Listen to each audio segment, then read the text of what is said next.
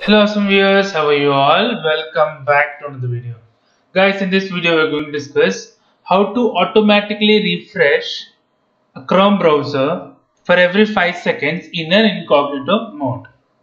So this was one of the questions asked by one of the viewer. Nice, this is working in the Chrome browser but not in incognito.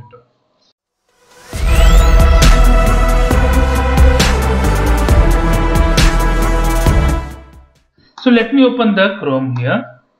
Let me open the Chrome browser. Here let me open the google.com. So right click, I'll inspect it. So I'll click on console, I'll paste the code. So this is the code which I'm going to use for every 5 seconds to reload the page. 1, 2, 3, 4, 5. It automatically reloads.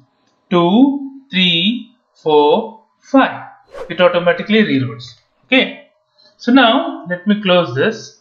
I'll use the same code in incognito window. Alright.